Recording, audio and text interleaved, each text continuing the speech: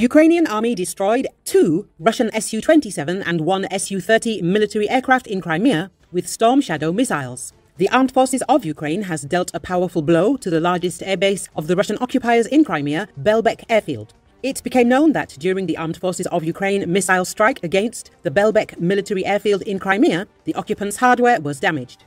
This is reported by the Crimean Wind Telegram channel, which monitors the situation in the occupied peninsula. The Russians assure that they allegedly intercepted all missiles and only debris collapsed on the base. However, a video of the moment of the fly in has already got into the net, refuting these statements.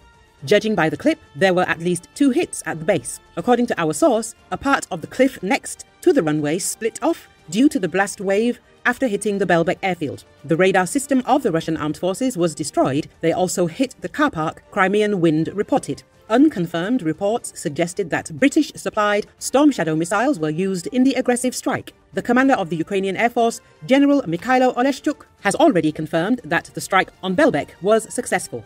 Did you know that there is the 204th Sevastopol Tactical Aviation Brigade within the Air Force of the Armed Forces of Ukraine? Writes Oleshchuk. According to him, its permanent deployment location is the Belbek airfield.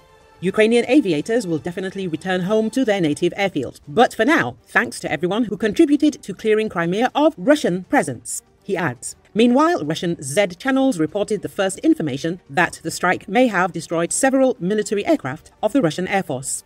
According to verified information, three planes were lost at Belbek Aerodrome, two Su-27s and one Su-30. Two of them are seriously damaged. One aircraft, unfortunately, was destroyed completely. A missile hit it directly. Also, 12 servicemen were killed on the airfield and near it, and more than 10 others were wounded. The Russian Kremlin Snuffbox resource wrote. It specified that the training camp of the armed forces of the Russian Federation near Gvardeysk was also under attack nine Russian GRU spies were destroyed. According to the Russian Defense Ministry, Moscow thwarted an attack on Crimea and shot down 20 Ukrainian missiles, 17 over the Black Sea and three more over the peninsula. The ministry said fragments of Ukrainian missiles fell on the territory of a military unit in Lyubimovka, which is near the Belbek military airbase. The incident caused no damage to aviation equipment, it said.